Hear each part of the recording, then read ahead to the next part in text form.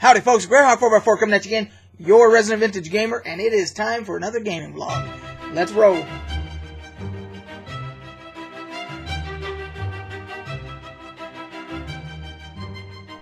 So, this gaming vlog is uh, going to be a little bit of a uh, catch up for uh, the last probably month or so, I think, since I've done the last one. And um, we also had a special guest here in the, the tavern uh, at our regular D&D game. So uh, to start off, uh, I need to give a little recap on uh, where we're at in uh, in our campaign. Uh, for those of you that are new to the program, we are running a first edition Greyhawk campaign back here, and the current group of players who the group started out being known as the Nomads of Dyvers have changed their their name several times in an effort to obscure their real identities and, and, and kind of throw misinformation out there because there's a group that is a very powerful group that has been uh, looking for them because they have information that people that get that information need to be eliminated.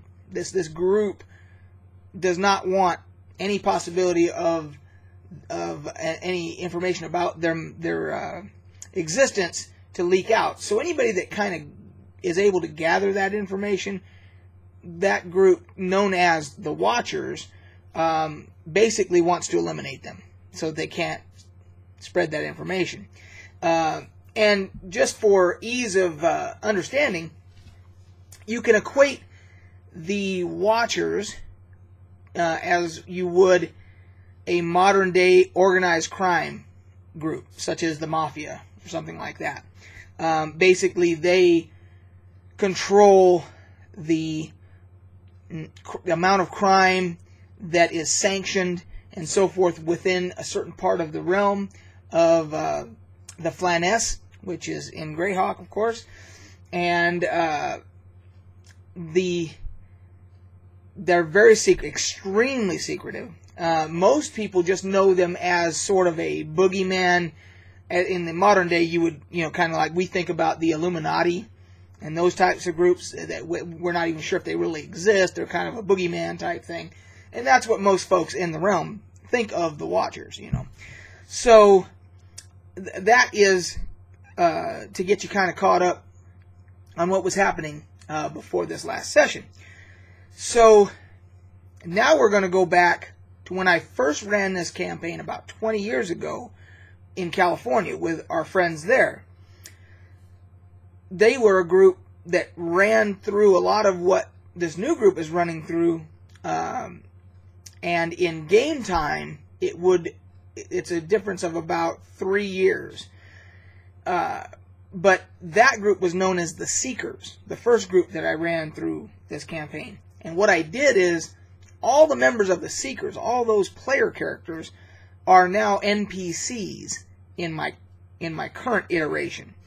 So our players now, the Nomads of Dyvers, for for lack of a better term, uh, have been interacting with all of the people, all of the characters that were played by players the first time around. And so what we did this time, uh, this last session was uh, we had a visitor here, my buddy Chris from California, who was a member of the Seekers, who played one of those characters uh, called Seldick. And uh, in addition to that, my wife uh, used to play way back then, and she plays a character named Clarice. Uh, and both of them, Seldick and Clarice, have been NPCs in the current iteration of this campaign. So our current players have been interacting with them and so forth. Seldick works at the training hall, training uh, ranger types, uh, you know, uh, when it comes to ranged combat and that type of thing. And Clarice is, because she's a paladin, she works at the temple. Um, and so they've been interacting with them. But now, this uh, on this this last week, when we all got together, uh, they got to play their characters again. So basically, what I did was this is now no longer two separate campaigns. I basically just um, managed to uh, create continuity, and basically it's just been one long 20 year campaign. There was just a big break in the middle, but the persistent world kept going. I've basically um, filled in the blanks as to what happened during those three years of game time um, in what was actually about 20 years in real lifetime.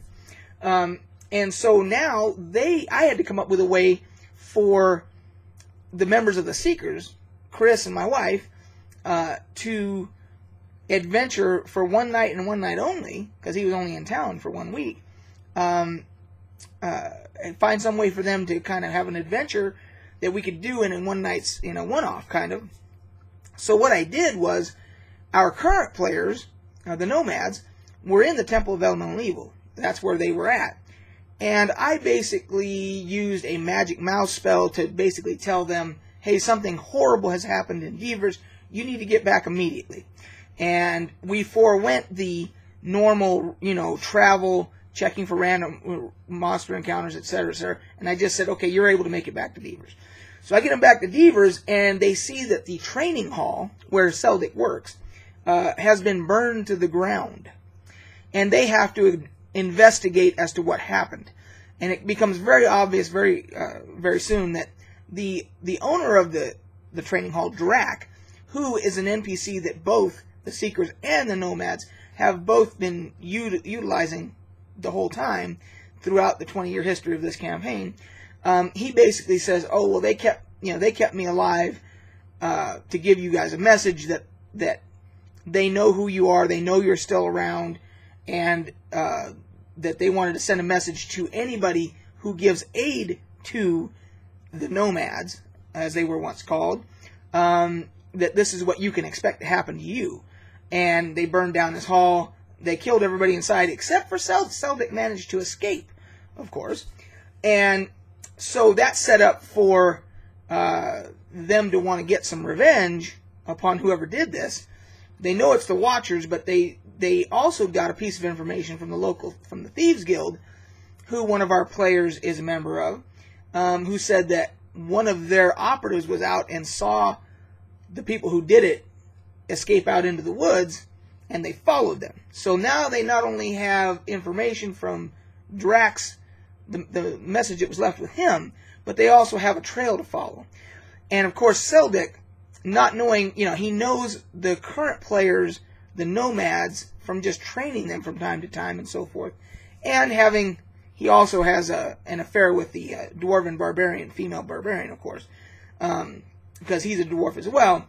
But other than that, um, uh, he doesn't know the rest of them that well, and Seldick doesn't know any of them very well at all. So Seldick, of course, insists that somebody that he trusts, Clarice, must go with the group if he's going to go. And so that set it up for them all, the, the newer players, as well as these two veteran players from uh, way back when, to all go off and try and find who did this.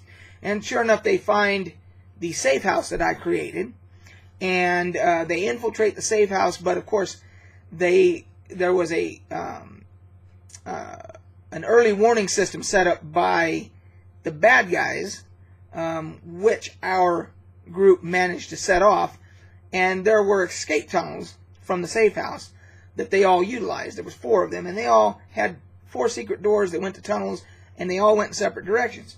So our group decided uh, which one, which tunnel they were going to follow, and they followed one and they managed to find one of the assailants had exited, you know, quite a ways down, exited up, you know, uh, through a hatch, and they followed it, and they had a couple rangers in their party, one being Seldick, and they were able to find out that there was a crevasse uh, in the side of a, like a uh, granite, you know, a hillside, and they assumed he went in there, and that's exactly what he did. They found a small cave in there, and he was in there, and they confronted him. And what I had done is there is an accessory called the Rogues Gallery. There was an earlier edition of it for first edition, and then there's a second edition. Um, and I used the second edition one um, because it was much easier. They're loose leaf pages so I could actually take them out and I could scan them and then print them. so that I could scribble on them without actually scribbling on my collectible. So that's exactly what I did. I scanned these, and then I could write on them. As a matter of fact, I kept track of hit points and everything. And so the first guy they found was this uh, Rogan Beefbone, uh, dwarf bounty hunter, and they get in. You know, they manage to subdue. You know, they it's it, they they fight for a while, and uh, they manage to get him subdued. And then you know he spills the beans that you know he was just hired by a crazy magic user, or not necessarily crazy magic but an unusual magic user that um, hired him for quite a bit of gold, um, platinum to be exact. And um, so they went back to the. Uh, he convinced them to let him go once he gave up all the information that he had. Um, they let him go, and then they go back um, to the safe house to try and find this magic user. So they took another tunnel, and luckily they did take the right tunnel. They come up again and through a hatch, but this magic user was waiting for them, expected someone might follow. And the first one up, our other ranger from our newer group, uh, came up, and she was ready, and she lightning bolted his ass, and she killed him. I mean, he was done, roasted, and uh, the rest of the group comes up, and they're having, they're struggling with her. She's high level, and matter of fact, she's uh, right here. Carasis is her name, and she uh, she's a badass. So they're struggling with her, but but our one little uh, assassin, our gnome assassin slash illusionist dual class character, um, he had had our uh, Me- Meslo NPC, another wizard, who had been sending them out trying to find unusual body parts from monsters and creatures to bring back for his experiments. He had successfully created a scroll uh, of um, sphincter control, if I remember correctly. That's what we named it. And basically, what this does is it, uh, if it's uttered, if it's used, the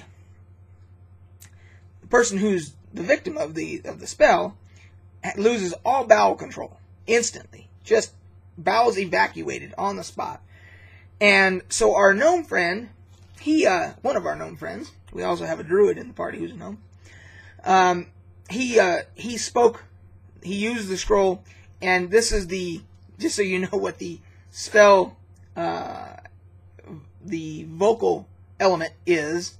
It is Ballatorium Evacutus Expeditum, and I came up with that.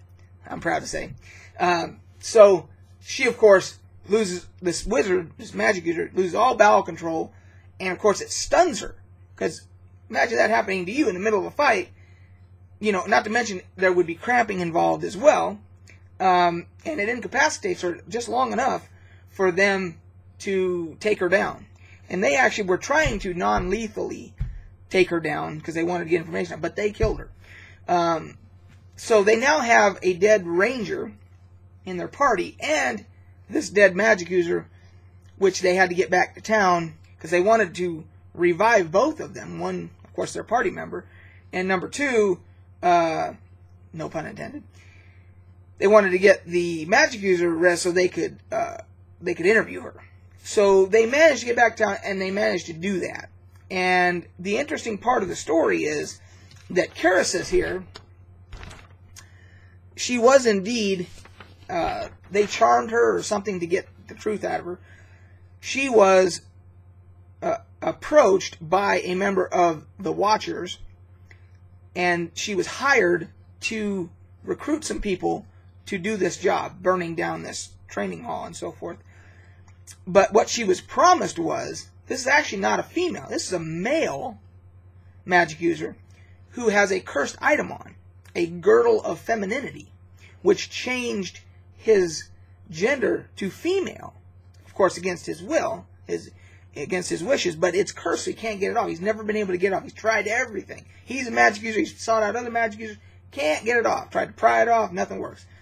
And they promised that they could get it off for him slash her uh, to put him back the way he wishes to be uh, if he carried he or she carried out this job. that so that is the motivator right there. It wasn't even gold. It was just to get that stupid girdle off. Um, but anyway, so that's kind of where I mean we made it to that point. Uh, they found out who had done it. They enacted you know some revenge. They got some information, but that was where, basically where we had to stop for the night. But basically, what we accomplished was we created synergy and continuity between the first iteration that I ran 20 years ago and now. And now we have a, basically a continuing campaign, persistent world campaign that has lasted for like 20 years with a big break in between. Um, so now when they are dealing with these two particular NPCs, uh, Clarice and Seldick, they actually know a little bit more because they've actually they've actually played with the players that that ran those characters. I'd like to do it with all the rest of the original Seekers if we could get everybody here. Maybe that'll happen at some point. I don't know. But anyway, so that is what is happening in my campaign. They still, our current players still have to go back and finish the Temple of Elemental Evil and so forth. But all these side uh, threads are go are going on the, in the meantime, and we're dealing with the Watchers. And the, so of course now they know that the Watchers, you know, are much more of a threat than they maybe uh, believed earlier. So uh, I'm tired of talking. Um, if you guys have any questions, you can go back at my previous gaming vlogs, and they're in chronological order. If you have questions about the campaign to, to, to get caught up to this point, but I think I did a pretty good job with the synopsis. Um, anyway, uh, while my buddy was here, we also went to Comic Con, Salt Lake Comic Con. So I'm going to do a separate video about that. I'm going to do a, a, review of it, and then I'm going to post pictures. The pictures, I'm going to put those on my Facebook page, Greyhawk 4x4 Facebook page. If you want to see the pictures from the con, the cosplay and all that stuff, that's where you'll find those. And uh, with that, until next time, we'll catch you guys on the flip side.